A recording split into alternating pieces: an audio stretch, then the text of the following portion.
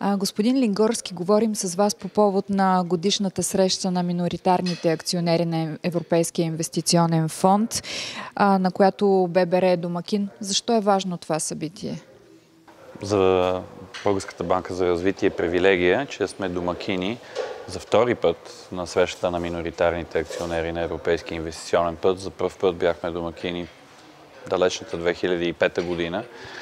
И това от една страна е добър авторитет, много добър имидж, както за банката, но така и за нашия град, а и, и за страната ни, като активен участник в процесите на формиране на политики, свързани с финансовите инструменти и схемите на финансиране, които се развиват в Европейския съюз и особено с оглед на предстоящия програмен период.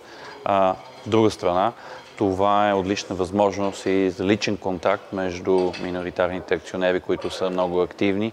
27 от 34-те институции, това са публични и частни банки от Европейския съюз и от Турция, са днес и вчера в София.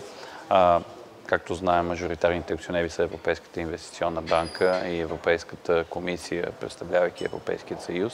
Имаме и техни представители. Отлична възможност да дискутираме бизнес плановете и как можем да подобриме ефективността на употребата на тези финансови инструменти през следващия програмен период. Тоест това са 80% от миноритарните акционери, които са дошли тук на това събитие. Висока Доста активност висок... и висока ангажираност. Дискусиите до сега са наистина много прагматични и много ангажирани по отношение на това, което ще се случва следващите 7 години. От кога Българската банка за развитие е акционер в Европейския инвестиционен фонд и защо всъщност е важно да има акции в него? Българската банка за развитие още като насърчителна банка през 2003 година придобива акции в Европейския инвестиционен фонд и от тогава е първото ни гаранционно споразумение с фонда. Вчера подписахме още едно ново гаранционно споразумение, което ще предостави ресурс в размер на 10 милиона лева през нашата микрофинансираща институция JOBS насочено към микро и стартиращите предприятия. също важно постижение в изпълнение на нашата мисия. А важното е, че Европейски инвестиционен фонд, а днес тук са представители на фонда, които са били още в началото и които са спомогнали през всичките тези години той да се трансформира в най-големи инструменти, най-големия финансов ресурс за ускоряване на малки и среден бизнес. Именно а, в тази посока пък е и мисията на ББР. Нашата роля е да бъдем такъв ускорител на локално ниво. И в сътрудничеството ни с Европейски инвестиционен фонд през всичките тези години а, и това, което предстои от тук на сетне, още повече имайки предвид, че финансовите инструменти стават все по-съществена част от начина на финансиране в Европейския съюз.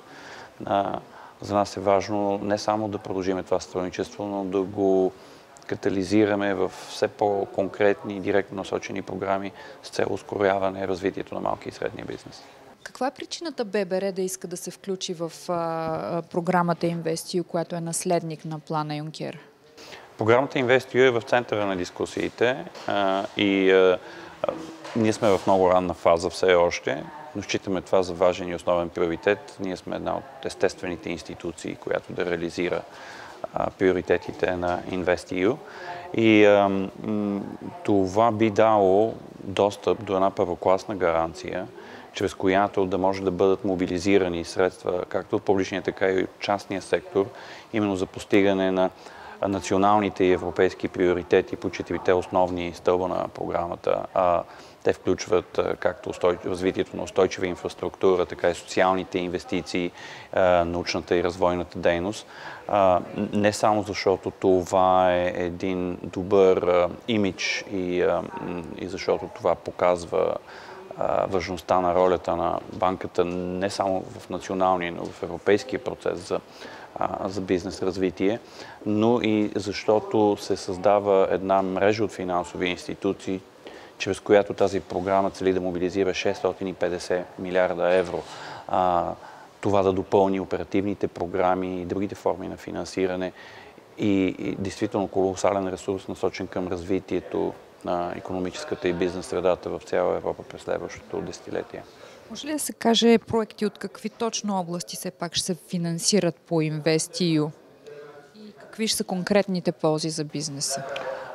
Вече споменах четирите основни стълба на програмата. Българската банка за развитие започваме, разбира се, там където е нашата мисия, а именно в подкрепата на развитието на малки и среден бизнес и особено в фазата на ускоряване, в преминаване от стартиращата фаза вече към развитие.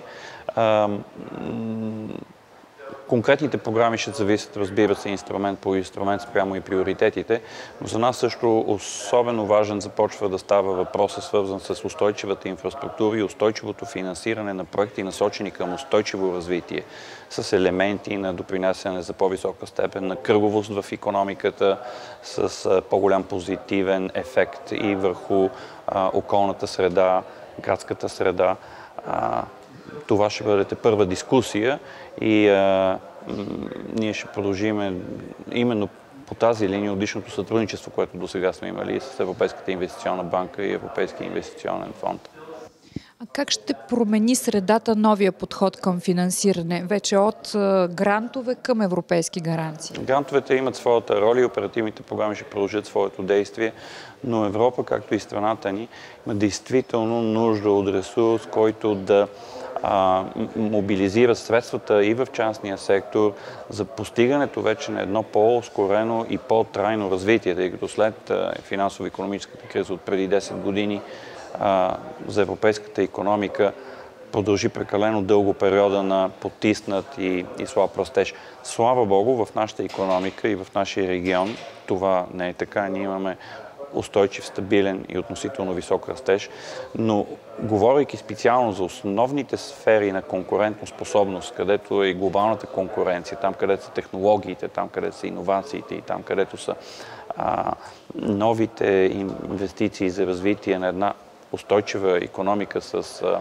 устойчива степен а, на развитие спрямо околната среда, това е огромно предизвикателство, но и огромна възможност за следващият програмен период. И тук ние можем да бъдем много добър инструмент в помощ на правителството, именно за постигането на тези цели, които не се покриват от оперативните програми, които имат нужда от банкируемо финансиране. На финал вече, дали европейските инвестиционни фондове според вас постигат целта си в частно сейфа? Има ли някаква опасност от сътресение в тази сфера?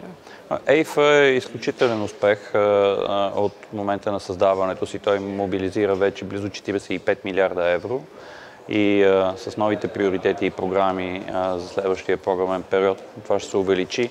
Отново се връщаме на темата за това, че Европейският съюз премина през дълъг период на забавено развитие и успехът през следващите години ще бъде свързан с това именно постигането на бизнес среда и на апетит за поемане на риск и инвестиране в това, което ще даде основата за економическо и технологично развитие през един по-дълъг период.